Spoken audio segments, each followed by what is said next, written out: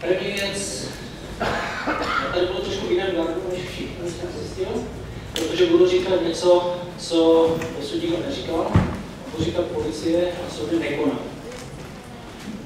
Já jsem člověk, který se 20 let jsem ekonom, zakladatel Národního fondu Pravda o vodě, vodárenství, obraně vody, lidí a městský se věnuju 20 let. Za těch 20 let jsem uspěl po 15 letech čtyřikrát u ústavního soudu, u nejvyššího soudu, vrchního soudu a několika krajských soudů. A doteď jedou ty komunity dál. A myslím si, že pokud neexistuje vymahatelnost práva, tak můžeme mít zákonem napsané cokoliv a nemusím pokračovat. Vodárenství České republiky je přesně z toho, o čem hovořím.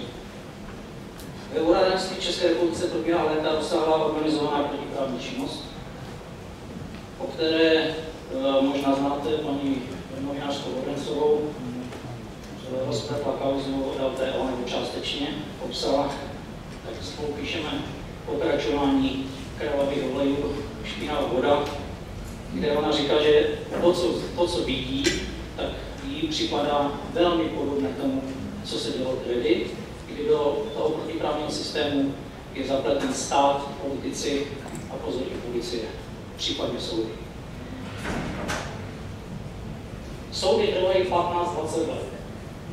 Soudy týkající se vodáren, městských vodáren, vyvádění zisku z vodáren, nastavení systému, který neumožňuje čerpat 100 milionů nebo možná miliardové dotace z Evropské. To znamená, je to záležitost, kdy se prostě likviduje veřejný zájem, se to, že někdo si dělá biznis. A prosím vás, dveře do těch vodáren se otevřely pouze zevnitř. A vevnitř sedí politici.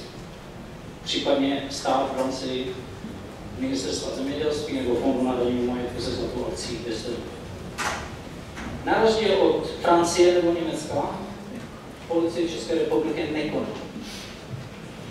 Přitom systém, který se instaluje, je stejný jako ve Francii, v Německu, kde byly odhaleny velmi závažné protiprávní jednání, korupce politiků, kupování si politiků, stavění různých, různých eh, sportovních aktivit a, a věcí, které samozřejmě podporují voliče k tomu, nás volili, pak to všechno zaplatí v ceně vody nebo obnoví to ze rozpočtu. Policie nekoná, to není všechno. Policie nekoná ani v době, kdy mám rukou ústavní nálezy, pravomocné rozsudky. A jde proti důkazům a v podstatě už dneska jde proti těm soudům. Což je prostě podle mě neakceptovatelné a je třeba o tom začít mluvit velmi vážně a jsem rád, že o tom můžu mluvit zde. O co Česká republika přichází? O svobodu, o svéprávnost, o schopnost rozhodovat sám o své nejstrategičtější země, kterou máme, voda. Dobře, přichází o peníze. Ale o ty peníze nepřichází Česká republika, o to přicházíme my. Z vodárenství České republiky oteklo do ciziny za posledních 20 let 35 až 40 miliard korun se potkali s paní Vytázkou, tak jsme se nějak míjeli posledních pět roků a když jsem poslouchal její informace o tom, co zažívala v rámci energetiky, jako státní úředník, tak v podstatě nebyl to samé jsem zažíval já jako osoba, fyzická osoba, případně nějaký poradenský ekonom, který, porad, který radí.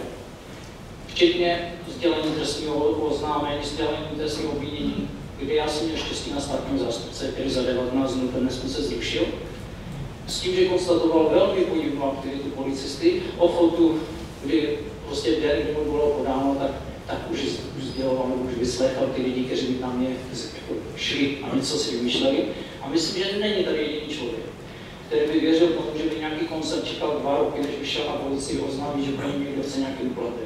Že okamžitě by běžel a s radostí, s nějakou asistenci politické, by, by, by rádi nějaký kusy předali aby se mě zbavili, protože já jsem o tom začal informovat už v roce 2002 všechny politické strany a ministerstva České republice.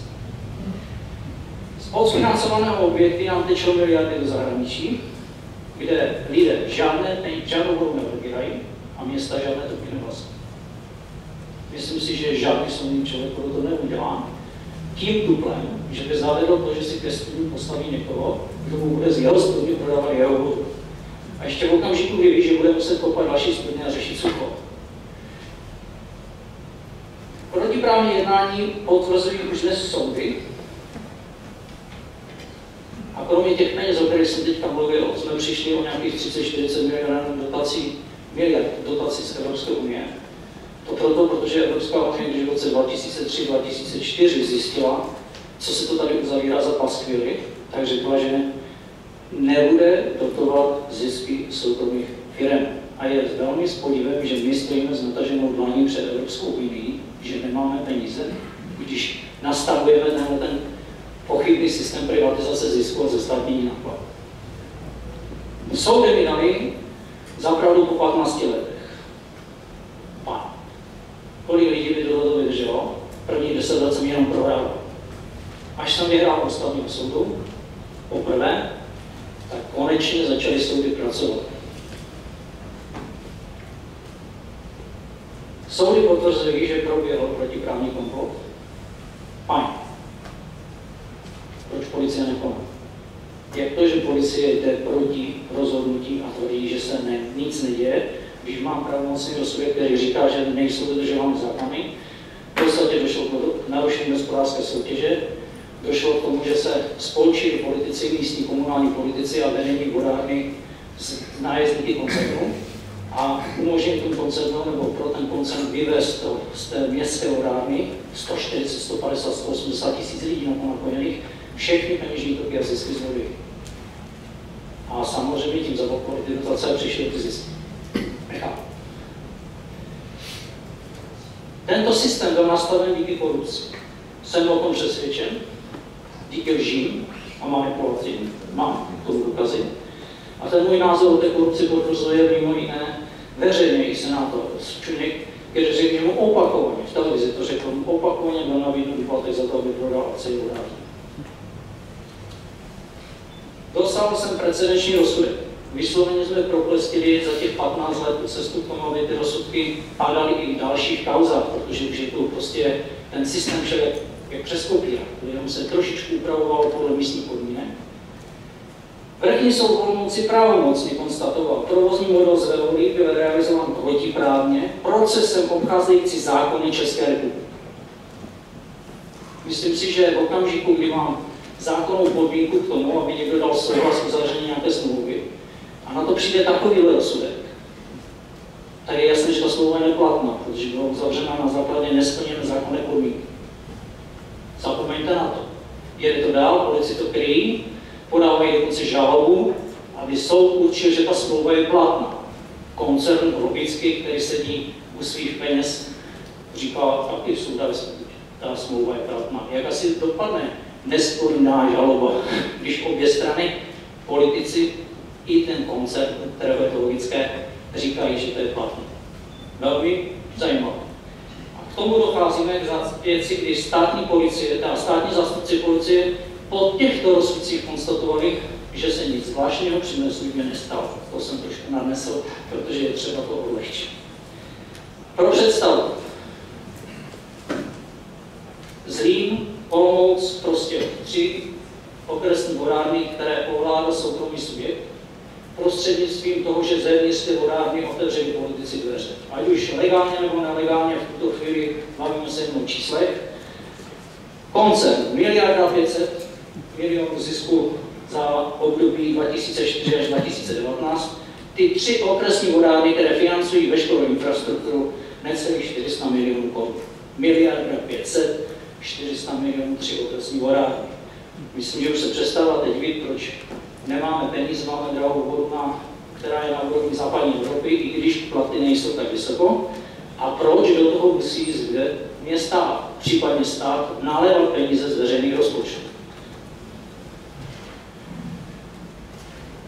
Soudce k tomuto stavu řekl, soudce, který tuto kauzu ve řekl, v České televizi veřejně veškerá faktická moc v České republice patří do rukou nadnárodních koncernů nebo jiných korporací. Všechno ostatní je stále trapnější hra. To je vše, co jsem tomu chtěl říct. ministerstva, ne, ne, to je Ministerstva vlády strany informují pravidelně od roku 2002 po každý volno. To znamená, nikdo nemůže říct, že neviděl. Nikdo. Je to úplně jedno, jestli se bavíme pravice, levice, je to jedno. A podstatné, co je, to, že justice je povolená, to je jasné. To, že ústavní soud už konečně to prolomil tím, že se nerozhodl, to je také jasné, ale úplně šílené je vlastně nefunkčnost té policie. Kdy na rozdíl od policie v Německu, ve Francii, kde prostě to rozkryli, u nás pořád tvrdí, že se nic neděje. A k tomu můžu dodat ještě poslední dvě věci. Pokud policista nechá zpracovat celorepublikový rozbor těch systémů, které se zavádí a dojde k názoru, že on regionálně tohle to není schopen rozsoudit, nebo jako hodnověrně posoudit, že by to měl dělat celorepublikový orgán. A ten posudek zašle nahoru a řekne, mělo by to řešit minimálně celorepubliková hospodářská kriminalita a je odmítnut, pak něco není v pořádku. A pak poslední věc. Situaci v jedné kauze dozoroval policista, dozoroval státní zástupce, který mě čtyři roky evidoval v roli poškozeného. Po čtyřech letech celý ten tým najednou skončil, převzal to nový, nový vyšetřovatel, který to za tři měsíce uzavřel. Prosím vás, tři měsíce předtím jsem se to podíval na, do spisu, na, na důkazy, to byly tři, čtyři skříně. To se nedalo za tři měsíce přečíst, na to, na to pochopit do souvislosti a do časové řady. A státní zástupce, který mě do té doby editoval jako poškozeného, mi řekl, že nejsem oprávněn podat stížnost proti rozhodnutí policistů, protože nejsem poškozený. Pak je něco hodně špatné. Poslední věc, a tím končím, je neskutečné jednání krajské soudkyně Klimešové v Brně, která soudí kauzu Vaku Prostějov, kde je to samé, o čem jsem teď tady mluvil, kdy evidentně byly předloženy nepravdivé údaje k rozhodování zastupitelů, to je prokázáno, 15 let prvoinstančně, a teprve teďka řekla, jestli ještě nechceme navrhnout nějaké důkazy, nebo jestli proti strany nechcou navrhnout nějaké důkazy. Prosím vás, spravedlnost této republice nehledejme a soudy nefungují. To, že část justice funguje, díky Bohu, tady to padlo, někdo říkal ústavní soud, a ono to tady padlo i z více stran, tak eh, díky Bohu za ústavní soud, ale nemůžu si pomoct. V okamžiku, kdy vím, že tato soudkyně předtím rozhodovala v mé kauze, a po šesti letech to vrchní soud odebral pro neschopnost. A teď jsem zjistil, že 15 let jsou jinou kauzu obdobnou. Tak si myslím, že jsme velmi dobře, že, velmi dobře, že existuje institucionální vytázkové a že vy jste tady, protože je třeba, aby se to lidi dozvěděli a je třeba s tím něco dělat. Ne něco dělat, je třeba si prostě normálně na to říct.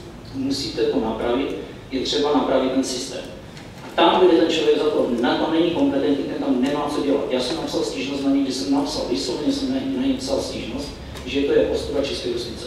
To jsem netušil, že jsou těžší kauzu. Digo.